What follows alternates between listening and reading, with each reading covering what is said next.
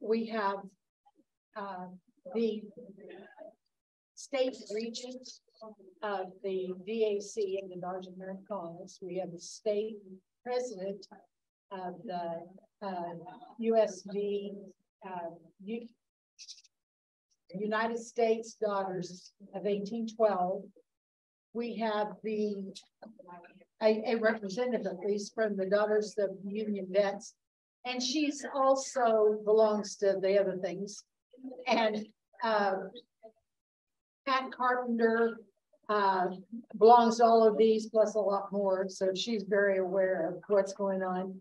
And Leslie Harris is the is the uh, president, president, yeah, of uh, colonial dames of the 17th century. And so we're really um, an interesting, an interesting group, have lots of interesting things. I kind of put together a basic idea so we kind of all have the same thing. And when we get done, I've got I've got a presentation I can make, or if I can answer questions about how to how to belong to all of these organizations, or or who to contact, and that kind of thing. So uh, it it doesn't matter. Does one of you, you one of you ladies want to start first, or you just want me to take it the way I wrote it, or whatever you want to do. What do you want to do? Uh, you want to talk? You know, we start. I definitely think it should be one of the older. Not older. Well, Seventy-one, I am not old. I think the organization that have older affiliation in America should go. I'm, I'm the youngest in civilization. Am I saying that as an age? Is that what I mean? Okay, okay. Which is the oldest? Which is the oldest group? Is that colonial Yeah. dames or? The oldest group. Oh, that puts me first, I think. Yeah, I think you're. the oldest. Okay. Yeah. So I'm Leslie Harris with Colonial Dames of the seventeenth century. I am the state um president and because that is by default, we only have one chapter at present. We're trying to grow the organization so we become an organized state and that requires two chapters. We're on the verge of that, but we still have a ways to go. And um membership, you should have the eligibility form with you. She passed that out and that um, covers the, the timing of our organization at 1701 or earlier. So um, Mayflower, um, Jamestown, those types of organizations, you're basically a shoe in. But um, our organization was actually founded later than several of the other organizations. Like um, it wasn't founded until 1915. And that was um, just a group of ladies who met at the International Genealogical Congress at the Panama Exposition in San Francisco at that time. And they decided, this group of women decided that they would have um, an organ, create an organization that focused on those founding of the earliest colonies time. Um, they also unique to only a couple of organizations is they put a focus on coats of arms. And in our um, our state chapter, we have um, more than one member who has um, coat of arms that go back six or more kings of England. And it's predominantly English uh, or English armorial ancestry. But we also, in my case, I have both um, from England and from the United States from the colonial era, because one of my um, Mayflower ancestors also has uh, was granted an um, coat of arms, and that was um, I just had his, his name in my head and it's gone. Um, oh, he went overboard and he came back on. yes. So anyway, there are American coats of arms and there are British coats of arms, and sometimes you have both. Um, there is a library of the coat of arms at the Colonial Dames headquarters, which is uh, a building in DC that they own, and it is on the National Historic Register. So, um, again, with many of the organizations, the focus is put on historic preservation. And creating a database or resources that are available for easy genealogical research for those who are interested in that era. They have um, a fairly extensive library and it's always a goal to go there instead of the DAR library during Continental Congress and vice versa during the National Convention of Colonial Dames and um, Heritage Week in April. Um, they also um, have a, a history of service towards veterans in particular and offer scholarships to post-secondary education. So fairly standard in certain things. Um, our dating goes probably back the farthest for the United States or for colonial America. And um, in our presentations during my administrations, because I'm in my second, I've tried to put a focus on um, history in our lessons. Our next meeting is next weekend, and uh, the presentation is about the Brides of Jamestown.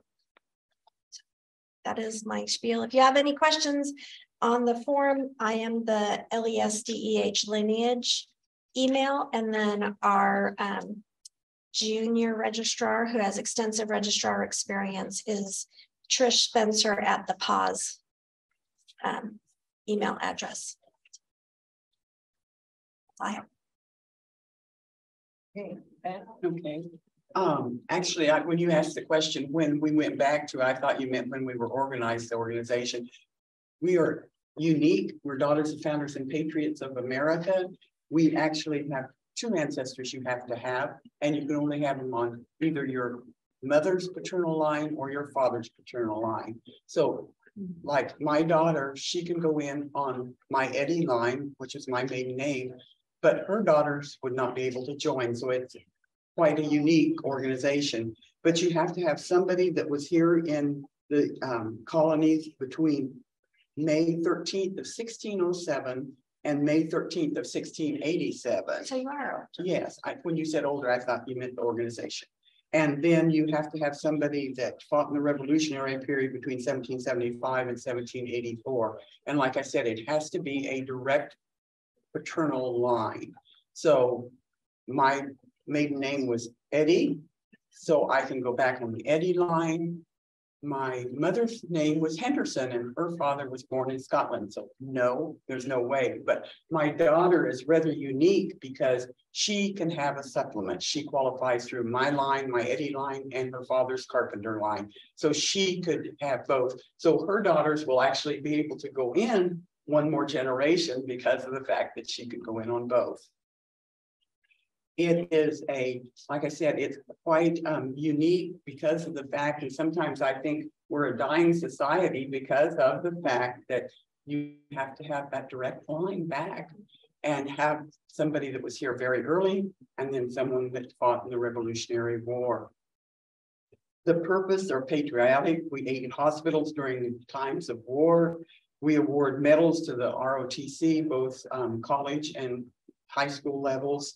Um, we respect, we promote respect for our flag, and we award um, achievement of students for American history, commemorating spatial historic events by enacting memorials, remembering outstanding individuals in our history, and collecting and restoring and preserving records for of our very early ancestors, because that's the time that some many of us have problems finding information about. So it was founded by Miss Eugenia Washington, the great grandniece of George Washington, so the one of the founders, and two other ladies. Um, I think I don't have anything else to say, I don't believe, but I'm open to questions. But what is your name? Patricia Carpenter, Okay, and you, what is the, uh, Daughters of Founders and Patriots of America. Okay. DFPA. And I, at least, at least we have five groups that are represented with information out there. So if you have more questions or you need to pick up more information, please feel free to come out and see us. We're along the wall. It's kind of scary. Okay, uh, Gomez? yeah, Gayla, Gomez? yes. Okay. yes. I am Gayla Hoyt, and I'm the state president for um. The National Society, United States Daughters of eighteen twelve. You don't try to say that three or four times real fast. Um, and because, like Colonial Dames, we're a very small organization. Um, we have one here in, one chapter here in Topeka, which is Kaw Valley. We have another chapter in um, the Kansas City area, which is Lieutenant Thomas Blair. I am also, at, at this point, all of the officers that belong to Kaw Valley are also state officers. We just took the same job straight across the board because we're still trying to get Lieutenant Thomas Blair back up and running.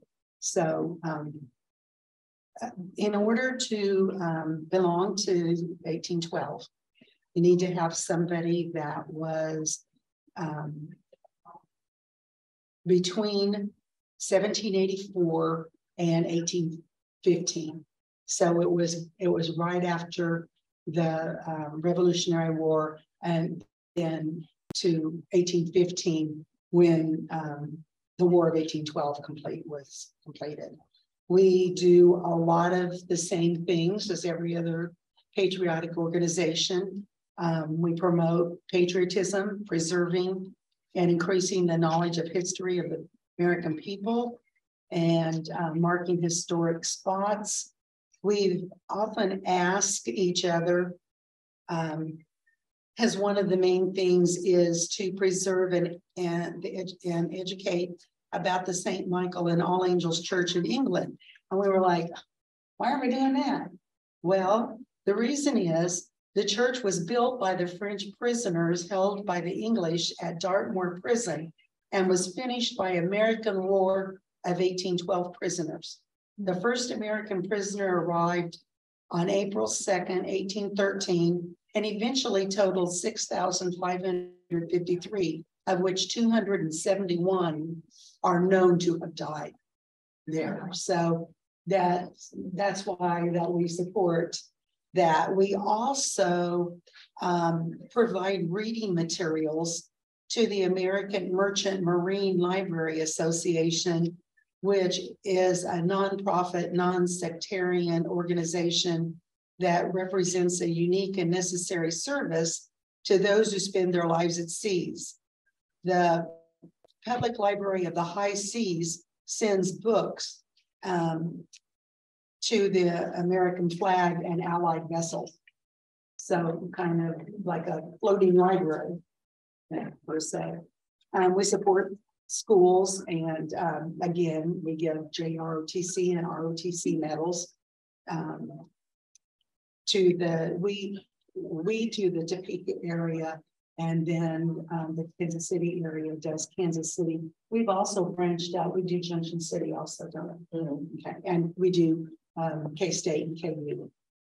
So um, they, they have a program. Yeah, if they have a program. Um, our current national, well, it's, it's President National. Um, her goals um, are to enhance, one of them is to enhance the technology and the communication.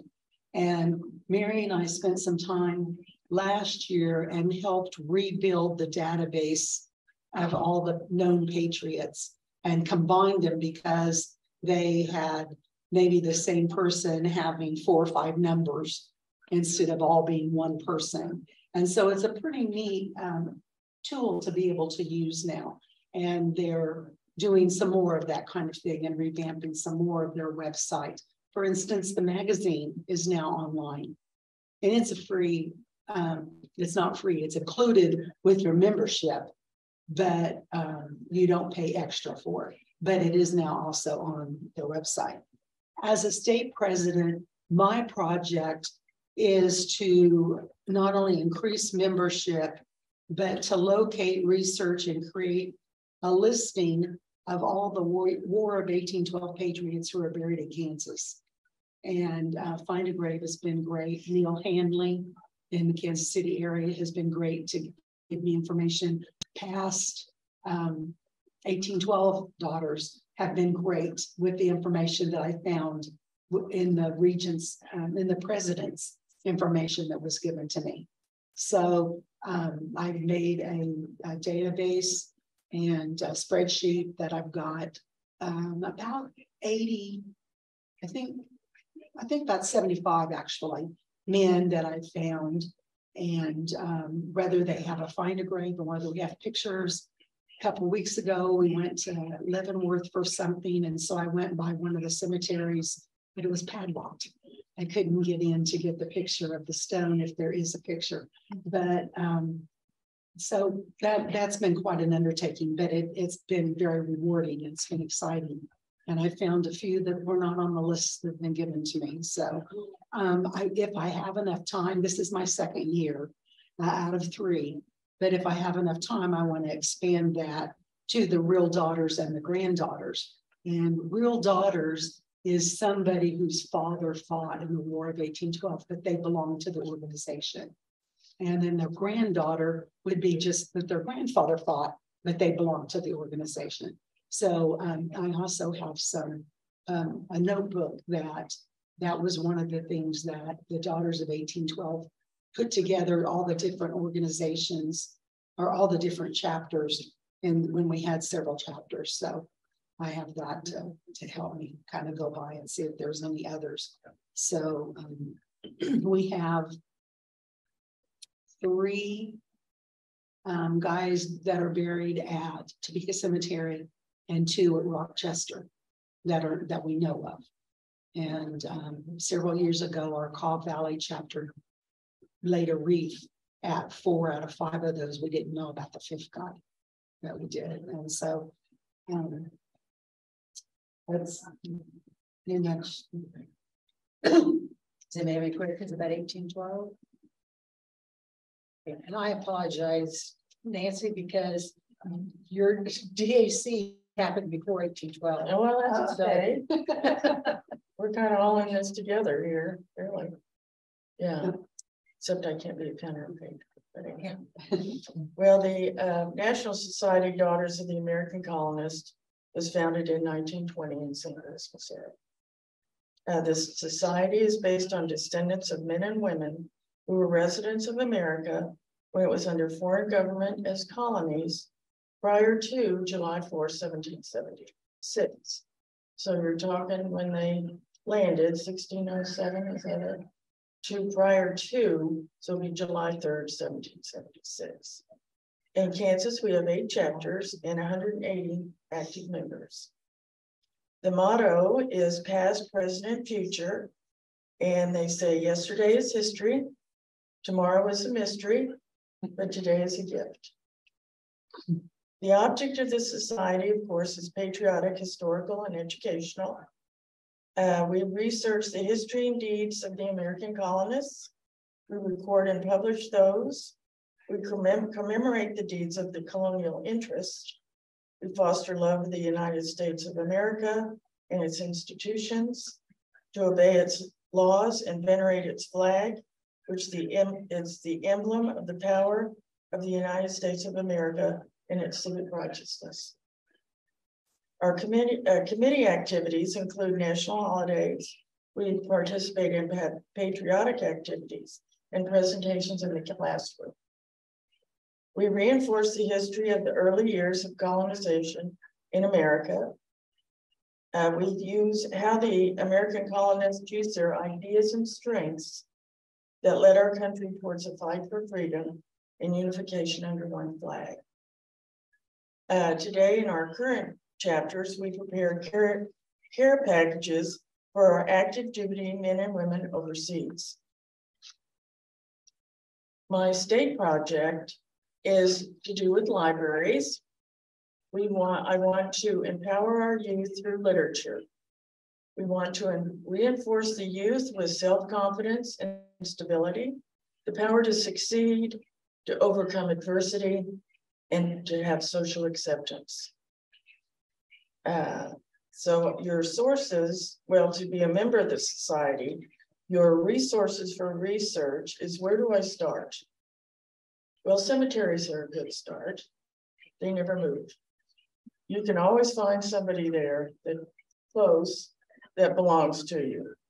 Your libraries, your Topeka Library here is wonderful genealogical section on Daughters of the American Colonist lineage books and materials. The Kansas Historical Society is another research library on the state of Kansas and access to the internet to access can to access the Kansas Quarterly Magazine, which is a wonderful source document for your patriot. Of course, your courthouse records, birth, death, marriage, and land records in your different counties, and then your Midwest Genealogical Library in Independence, Missouri is also a good research tool. So all of these wonderful resources to research on your journey to solve your family history before 1776.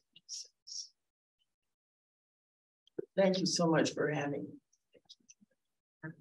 I, I put together, since in a few minutes I'm going to be talking about the Daughters of the Revolution. Um, I didn't want to spend too much time, but I did want to, to give you some basic information that I'm not going to be talking about. Um, Daughters of the American Revolution is a nonprofit, non-political, volunteer women's service organization dedicated to promoting historic preservation, education, and patriotism. It was founded October 11, 1890, and incorporated in 1896 by an act of Congress. The DAR's motto is God, home, and country. Any woman 18 years or older, regardless of race, religion, or ethnic background, who can prove lineal descent from a patriot of the American Revolutionary War is eligible. Uh, our President General's project, national, is honoring our nation's history. Uh, and she's looking at the DAR ties of service and friendship are brought together as we celebrate our nation's rich history and diversity of experience within our own communities. As the daughters of those who sacrificed so much to secure our freedom, we enjoy the honor of seeing that each milestone leading up to this nation's 250th anniversary is celebrated. During this administration, they're going to look at the Boston Tea Party, which was December 16th of 2023. Patrick, uh, Patrick Henry delivering his Give Me Liberty or Give Me Death speech, March 23rd of 2025. And the battles of Lexington and Concord, which ignited the American Revolutionary War on April 19th of 2025. The States Regents Project is a legacy of liberty. See how it carries over in recognition of our patriot ancestors who achieved American independence. They she chose a legacy of liberty. Um, she she chose a torch. It's a symbol. It's a beautiful torch, and I don't know why it's a pen, and I don't know why I didn't. Oh, I have one in there. It's, it's a dandy dandy ice cream cone. It just looks beautiful. It is gorgeous. I could have brought my scarf for you. To show. It's pretty good. And her scarf not only has that, but it's also got entwined I didn't think. um, sunflowers. So that makes her, I mean, that even pulls in the Kansas part of, of the idea. It's very pretty. Uh, the flames reflect the burning desire to seek new learning op opportunities. And by passing the torch, we recognize that our leadership roles are illuminated as opportunities for service. And that is one of the big pushes this year. Not that we haven't been doing that for the past six years, but this year, uh, that is also a big push is, is almost every meeting we have uh, is some sort of a service project involved in that even for, you know, 15 to 20 minutes of the of the meeting.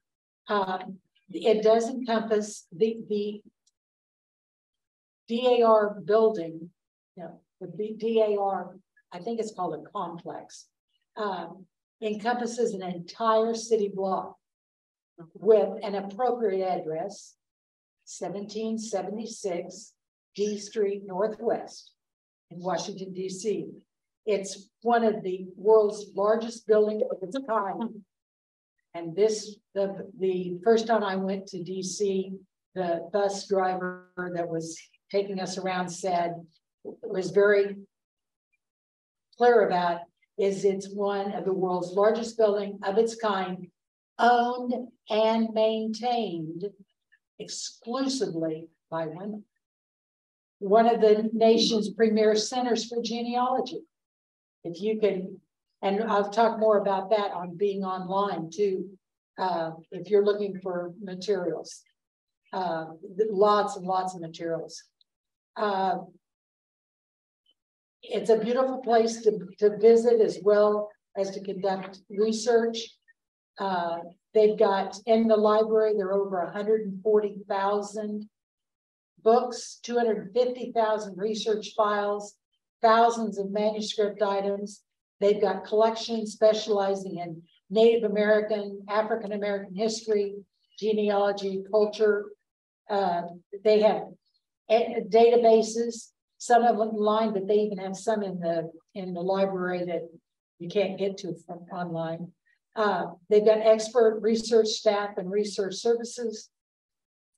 And they even have research events.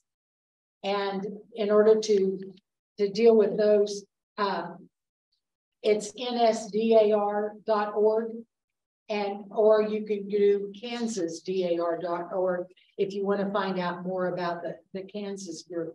Uh, very, very informative information. Okay, uh, finally your turn. You ready? That's okay. I wanted to go last. I didn't Yes. realize I was gonna follow the biggest organization. Yeah. Sorry.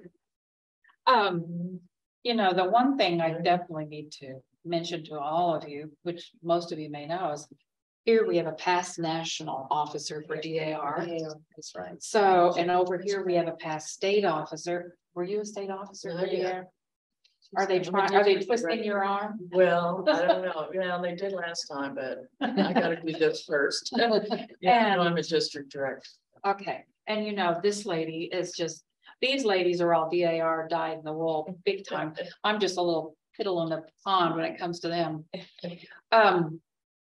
DUV is Daughters, National Society Daughters of the Union Veteran.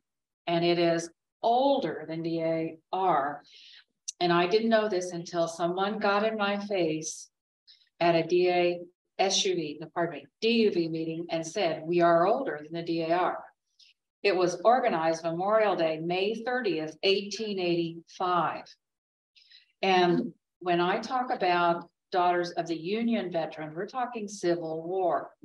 So they got right on the ball after the war, eighteen sixty-one to sixty-five, and organized this. It was incorporated, I believe, I didn't take time to write that down. I think it was eighteen ninety-five, and then in the nineteen hundreds chartered or something, something like that. I don't much care about that, and I don't think any of us do. The whole idea is the whole idea to organize it was begun a long time ago. The Grand Army of the Republic, GAR, am I saying that correct? Recognizes only this women's group as the women's group for that particular war and time in history.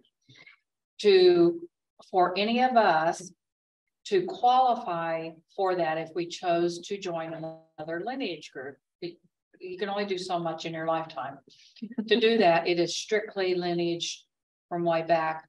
Like I go to me, to my mother, to her father, and I, then I go all the way back on the men. Um, five generations, I think. Um, there are various ways, obviously, you're all, they're all aware. It's the same sort of documentation. Um, vital statistics. Now, obviously, when I got back to my eighteen sixty people. I got turned down for DAR. And you could have seen steam coming out of my ears. When this happened, and I'm going, oh, oh, I know I can do this. I wonder if there's an organization, and that's about the way I was too. You know me bit. Anyway, so I got on there and Googled lineage societies for Civil War, and up this popped, and it was Kansas City over in Lee Summit. A lady by the name of Linda. So I contacted her and she sent me the information pronto. All I had to do was use all the information I already had, put it on a documentation summary and send it to her, and in I was. This particular tent instead of chapter, as they're all called, we are a tent, was begun in twenty thirteen in Lee Summit. I went to Missouri because it's closer. We do not have one in this area. I have heard two different stories. Edie Flickinger, who's in there, is in my organization with me. We carpool, we chat back and forth. I saw online we had two tents in Kansas, in South Central Kansas, Wichita being one. She says, no, that's not what the national publication said. So I'm going to do some research in the next week or so before our meeting and find out for sure. And I may have to call a national and find out. Because we are not nearly as big. We do not have near the money or funding that DAR does. We are a little drop in the bucket when it comes to them as far as funding. So we have to pick up and carry our own. But I will tell you right up front, the national officers in this group do not float away, never to be heard again. They stay with the organization. I have personally spoken with on the phone and by email more than one time with the national webmaster in order to have information recorded for our members that are coming in new. She is a past national president. And it was pointed out to me that's what those initials mean after the name PNP. I start looking at the publications, and there are many of the past national presidents that stay with this organization. They do not just kind of do a little thing in the background. That's don't take insult because I know this lady does mm-hmm. stuff constantly also in DAR. I am impressed with those women and their dedication, and they're going to keep it going. And they're going to make sure that we new people understand it because I've already gotten one lecture about how things should be done. So understand it is an organization that cares a great deal about it from, from the top down to the bottom. I think that's very important to any organization you join. Find people that you know will support you, they believe in you, and even if they don't know you, they'll talk with you and help you. I think that's critically important. I belong to that Missouri group. It's an hour and a half down the phone, uh, down the road, pardon me. We, I taught Kansas history here out at Shawnee Heights for a number of years. You look at the period 1850 and it's just nothing but wildness, craziness. I'm surprised any of us lived through it to come to this time in history. It's just really something. That's what's carried on over into this. And it's in a Missouri group who they're very much aware of their history as well. The people in that group want to keep their history alive, even though when we go to a meeting, we don't sit around and talk about it, but they are involved women. Um, there are, as I said, or maybe I haven't, it's a much smaller group than DAR. You're in the million, I don't know how many members. We are a few thousand in the country. Missouri has five, instead of chapters, they're called tents. All of them are working on increasing membership. I'm going to tell you right up front, my group in Lee's Summit is the most growing lineage group I belong to. When I joined, the group started in 2013 in Lee's Summit. Some of the women from Springfield came up, decided they didn't want to drive from Kansas City to Springfield. They started a group up there. I started driving down to see them, driving all by myself, walking into these ladies I didn't know at 2015, two years after they started. There were eight to 10 of them there, and they were all still members of the group, except for one that's passed away this year. That's how I got my job. Anyway, she, they, how do I say it? In 2015 is when I joined, and then I think maybe 12, 12 of us or so we are now almost 50. It is exploding in the last six months to a year and a half. It's just on a haywire. I don't know where these people are coming from, but there's huge interest. When I've been sitting out there, three people come by to speak to us and they were all interested. I am amazed and I think it has to do with we're finally taking more interest in what happened here. And I think it has to do because we're in the middle part of the country we were solidly involved with that and 120 some, 140, 50 years ago, it, we're finally, it's our gray hair, finally getting interested in it. That's what I think is happening. To join the direct lineage group, as I said, I went back. You cannot get a vital statistic on my soldier who was in his forties, I think, when he was fighting in the war. It's not gonna happen. So what I had to do was write Iowa State Historical Society, pre-COVID. Had enough people to go look up all his info in newspapers from where he was from, and I got all that information. And that's what I used to start out with. I have since picked up uh documentation for my second veteran from NARA. And I think that's very helpful. It, it also gives you a sense of who you are and what they did. Um, I think I'm getting close. Our particular group, every, when you join a group, you want to know what they do, what they're interested in. Oh, I need to read this. We obviously are centered upon our Civil War Union, the Northern people. When I read the brochure to become or to come for this, this is the phrase that stuck out to me and it applies to this day and age. I was sharing this with Nancy when I came. I said, Nancy, can you believe this? It is support the union and preserve it. Pretty simple. And then establish freedom for all. I don't think I need to say any more to apply to our day and age to this day. And maybe people are zeroing in on that. Um, we do not have like DAR has uh, 20 or so various committees and interests. So one of our ladies who is, I don't know, her IQ's got to be 150. Mhm. It's beyond me. She has organized a book club.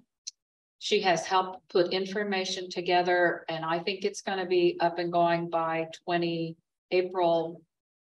April or May of next year, 2023. She has put a book together of quilts in our family. I put together one, I added my family from South Central Kansas. As well as one that a lady made for me here in this town. There's an exact copy of it over in the Historical Museum. She has done that. They're putting together a book of stories of our veterans. I haven't done mine yet. They're on my case about that. I'm trying to ignore it. But they are gonna be doing that. So we're trying to emphasize small things that we actually can do and try to draw in as many as we can. Like all groups, we like people to participate, and that's the key is when we're in a group, is can we get people interested? So anytime you join a group, please bring ideas into, I don't care what group it is. And, and say, hey, this is something we can do. All of us somebody here mentioned going to Mid-Continent, I think it was Nancy. I absolutely love that. I was talking about that with the Hoyts lady. If we go into Kansas City, can we go over there? Neither one of us have been there very much to do any research. My DUV lady, bless her heart, nothing stops her. I mean, nothing. I have her on my cell phone. I talk with her once or twice a week. She has gone into Mid-Continent. Our group is gonna have about a fourth. I think it's a fourth. I hope it's not a half about a fourth of those glass cases on the way dedicated to, I don't know if, I don't think it's our chapter. She's trying to make it Daughters of the Union veteran.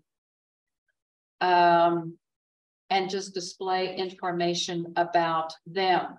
Hmm. And so I've, I've told her, take some of those books. Oh, she started a book club. H- how many of you have read a historical book this thick every month? she has started this book club and I swear to God, sometimes they just kind of gossip and other times they really, really discuss these books to try to learn more about the war. This lady is, bless my heart, I'm scared to death. That she's gonna expect other people to do as she has done, look up all these gravesites. There are people in every organization and bless Sherry's in our group going in and taking up these things. We got to keep our group going. So look for that in every group you join. She started the book club, the quilt book, the ancestor book, and now she's going to have stuff out there at mid-continent for us.